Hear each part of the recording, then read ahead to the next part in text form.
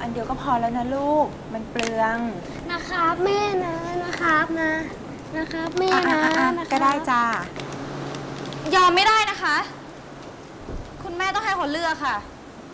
เขาจะได้รู้ว่าของบางอย่างต้องเลือกจะเอาแต่ใจไม่ได้ แล้วคุณมายุ่งอะไรเรื่องลูกฉันเนี่ยว้าไปลูกไปะเดี๋ยวแม่จ่ายตังค์ให้นะคะ เอาสองชิ้นเลยใช่ไหมลูก ก็จริง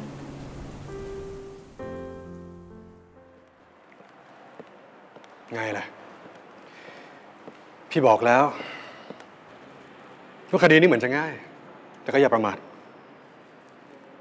ทนายของอีกฝ่ายเขาประสบการณ์โชคโชนแล้วก็รอบจัดมาก แต่มันไม่ยุติธรรมค่ะ สามีไม่เคยดูแลลูก เราเอาสิทธิ์อะไรมาเป็นผู้ดูแลบุตรแต่เพียงผู้เดียวคะสิทธิ์ของความเป็นผู้ชนะไง ถ้าอยากจะได้ความยุติธรรมก็ต้องชนะตากาง่าย ๆ ที่ทิชาไม่เคยเข้าใจ พี่นาราคนเป็นทนายเนี่ยมันต้องรู้จักจังหวะ รู้ว่าช่วงไหนควรรุก ช่วงไหนควรรับ ช่วงไหนควรวางหลักฐาน มันต้องรอบจัด ต้องมองการไกล ต้องมีไหวพริบ รู้จักถามในสิ่งที่ควรถาม แล้วก็ถามในสิ่งที่ไม่ควรถาม เพื่อสร้างรูปประโยชน์ให้กับรูปคดี แต่ทั้งหมดที่พี่พูดมาเนี่ย ไม่มีในตัวทิชาเลย ทิชาจะเป็นที่หนึ่งในรั้วมหาวิทยาลัยนะ แต่ในศาลจริงเนี่ยทิชาแค่นี้ แต่ทิชาอยากเป็นทนาย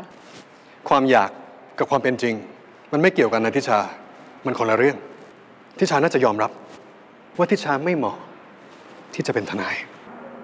พี่เอาอะไรมาตัดสินคะ อาชีพทนายเนี่ยมันโหดมากนะทิชา ผู้หญิงอย่างทิชา เป็นทนายไม่รอดหรอกทิชาควรจะยอมรับได้แล้ว ดีที่สุดก็คงจะเป็นได้แบบทุลักทุเล ไม่มีทางได้ดีในสายอาชีพนี้ พอแล้วไม่ต้องพูดแล้วทิชาเพิ่งว่าความแพ้มาเนี่ย คนเป็นแฟนกันมันควรจะปลอบใจ ควรจะให้กำลังใจกันไม่ใช่เหรอคะ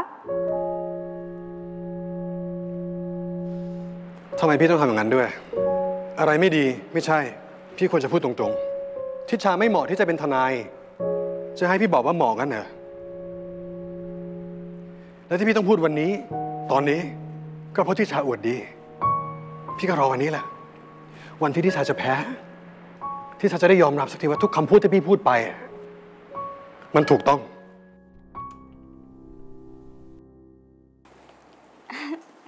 ทิชา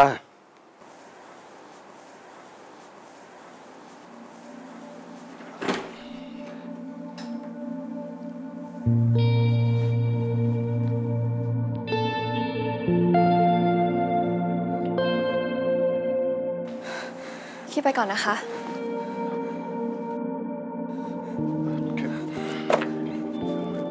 พี่ทำแบบนี้ได้ยังไงอะพี่จาเดี๋ยว พี่จาพี่จาฟังพี่ก่อนพี่จาพี่จาพี่อธิบายได้ พี่นั่นแหละปล่อยที่ชายเหล่านี้นะปล่อยฟังพี่ก่อนสิพี่อธิบายได้ได้ยังไงอะใจปล่อยเย็นที่ชายที่ชายบอกให้ปล่อยๆพี่ชา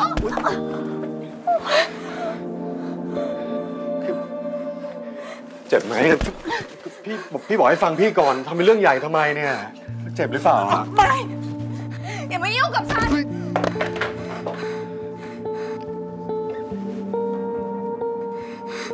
พี่ชาพี่ชาทำไมไม่รับสายพี่ทิชามีว่าความยังไม่อยากคุยกับพี่ตอนนี้ค่ะ แต่พี่อยากคุยอะ มันเป็นความผิดของทิชานะ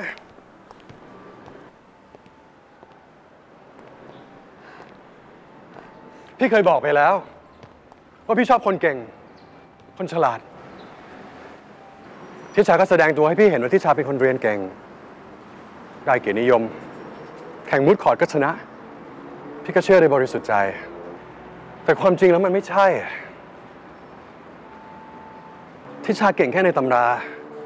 เก่งแค่ในทฤษฎี พอเจอของจริงก็ว่าความแพ้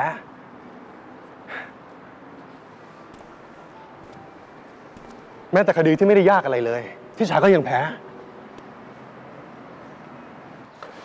ทิชาเจตนา ให้พี่เข้าใจผิด ว่าทิชาเป็นอีกคนหนึ่งที่เก่งทิชาทำผิดทำให้พี่สำคัญผิดในคุณสมบัติของทิชา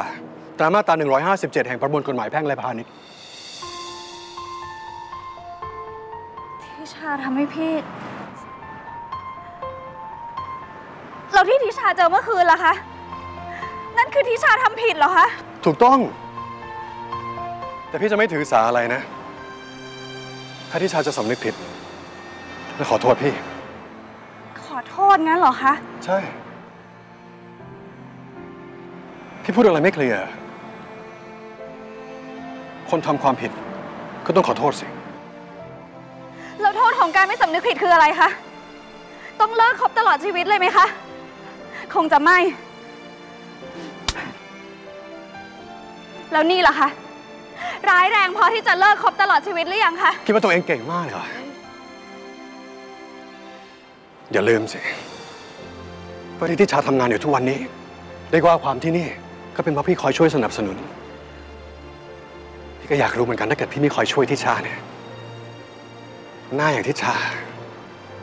จะไปได้แค่ไหน พี่ก็คอยดูแล้วกันค่ะ พี่จะคอยดูแน่จะรอดูวันที่เธอตกงาน ไม่มีใครจ้างเธอทำคดี แล้วถึงวันนั้นเธอก็จะรู้ว่า พี่ไม่เคยพูดผิด ผู้หญิงอย่างเธอเป็นทนายไม่ได้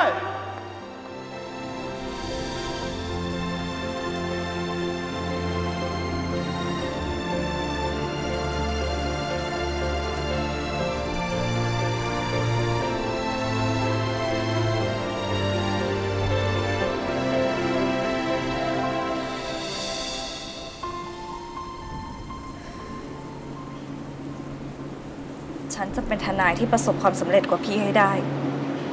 คอยดู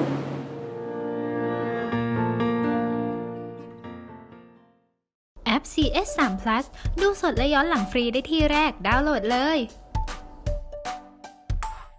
ไม่อยากพลาดละครสนุกกด subscribe ไปไว้นะคะ